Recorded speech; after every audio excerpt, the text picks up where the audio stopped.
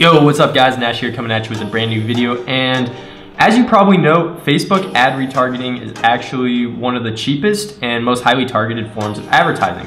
But I know a lot of you may be confused on how to set it up or whatever, so I've gotten some questions, so I'm gonna do a video on how I actually set up my ads.